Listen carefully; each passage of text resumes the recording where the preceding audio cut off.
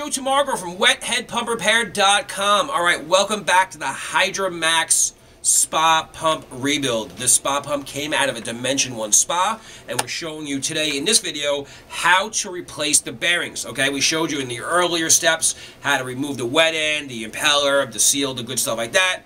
Then we remove the end bells, we remove the armature, and now we also remove the front bearing and the rear bearing. We gave you a close-up and a far-away shot of how to remove both those bearings, and we also explained the use of the bearing pullers to you.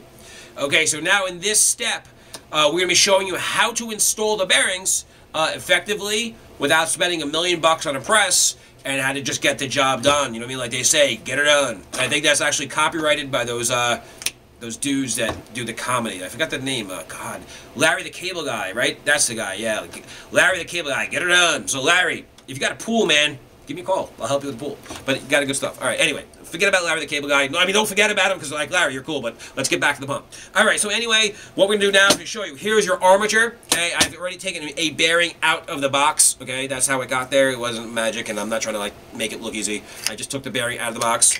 Okay, so here's the bearing now. What I'm going to do is I'm just, the bearing came off that shaft. What I'm going to do now is I'm going to take the bearing and I'm going to slide it right onto the armature like that. And I'm going to try to make it as even as possible, okay? See, that is almost balanced, right? I'll let you take a look at it. Well, now it moved, right? Okay, but it's going to be even as possible. Now, this is just a regular three-quarter black pipe nipple that you could find in any hardware store, Home Depot, Lowe's, place like that, True Value, you know, Betsy's, whatever. I'm not promoting anybody, but you know the deal. There's places all over the place. Okay, so if I missed you, check out your local guy. I'm not trying to say go to the big corporations. Just go wherever you can go and support your local guy, but just get a pipe nipple. Three-quarter black IPS pipe nipple, okay? So you go to the hardware store. Once again, if you got a pen and pad, I'll wait for a second. Okay, three-quarter black IPS pipe nipple. That will slide right on top of the shaft just like that. Now what that does, let me show you real quick, is that this outer ring here will match with the inner race, okay, of the bearing, okay? So this is the outer race. This outer metal is called the outer race, and the inside is called the inner race. And this pipe will match up with the inner race. That way the bearing will get pressed onto the shaft right. Because if you try to push the bearing on by the outer race, like say you had a bigger pipe and you press it on the outside, that would kind of like push the outside inside out, and then basically would, it could mess up the bearings, you know? So here, what we're going to do is just put it on like this, okay, and then we'll put the pipe on there, and then what we're going to do is we're going to tap it with a hammer,